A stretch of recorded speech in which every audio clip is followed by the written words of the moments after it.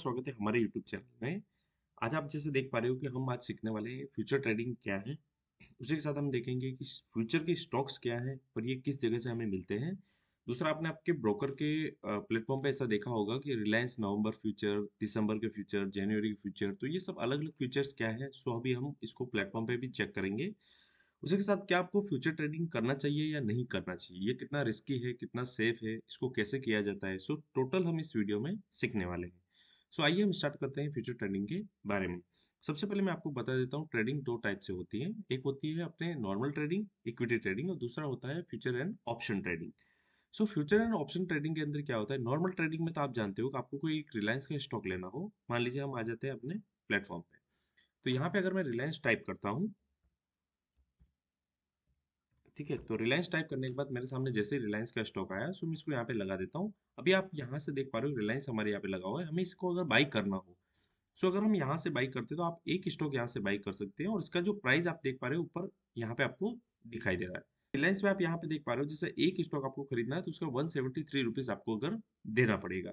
उसी हिसाब से अगर हम अलग अलग स्टॉक को, जैसे जैसे कि आईसीआईसी बैंक देखना है हमें तो आईसीआईसीआई आप जैसे ही टाइप करोगे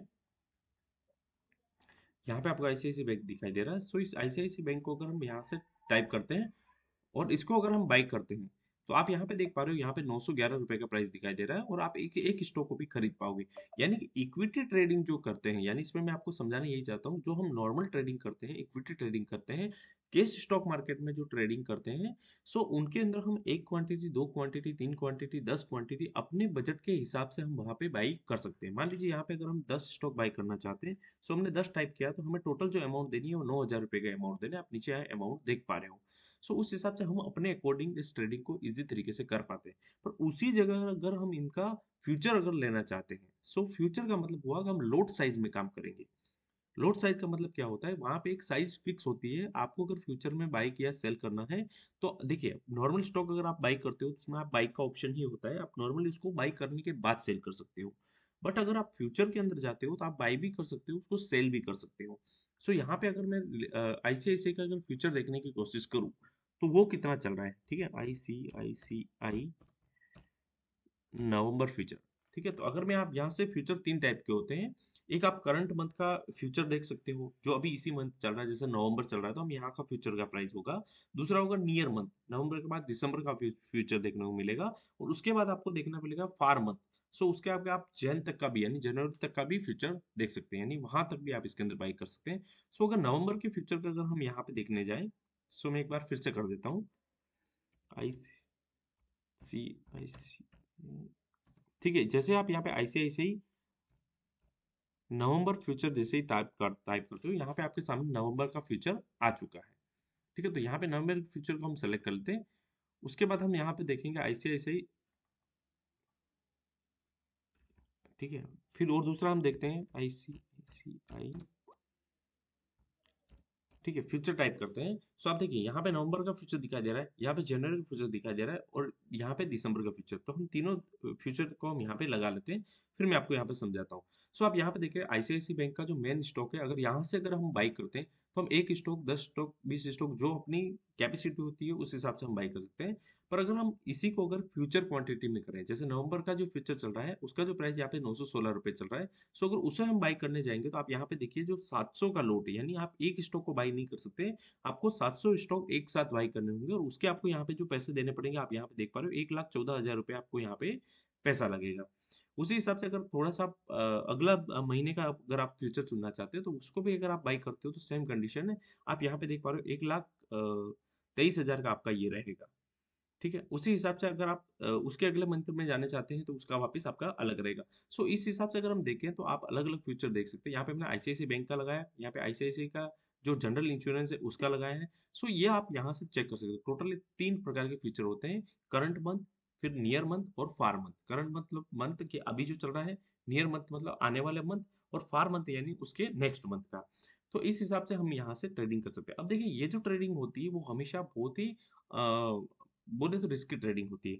क्योंकि देखिए, जब तक आपको पूरा कंप्लीटली पता नहीं है कि आप कौन सा ट्रेडिंग करना चाहते हैं मतलब आई I मीन mean कि आपको जब तक पूरा कंफर्मेशन ना हो कि भाई ये अगले महीने स्टॉक ऊपर जाने वाला है या अगले महीने स्टॉक गिरने वाला है या इसी महीने स्टॉक गिरने वाला है, तब तक आप फ्यूचर ट्रेडिंग ना करें।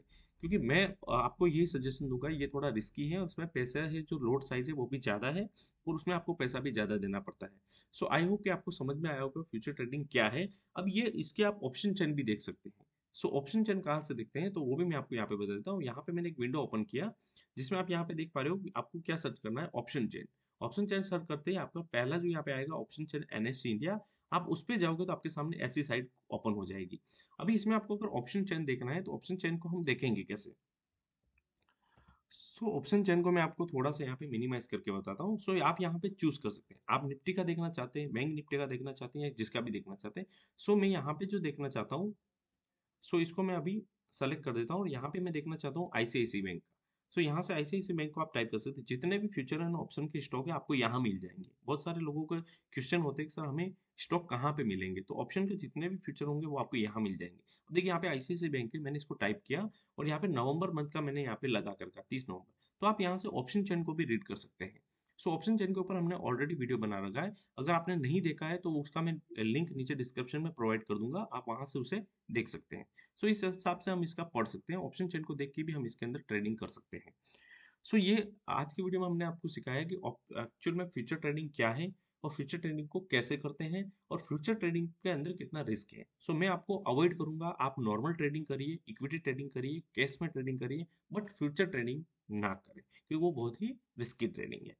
सो, मिलते हैं नेक्स्ट वीडियो में। थैंक यू सो मच अगर वीडियो अच्छा लगा है तो लाइक करें शेयर करें सब्सक्राइब करें। हमारे साथ बने रहें। ये नाइन्थ नंबर का वीडियो था। इससे के अलावा भी और वीडियो है। सो, आप उन वीडियो को भी चेक करिए जिससे कि आपका जो नॉलेज है वो बढ़ सके। ठीक है? Thank you so much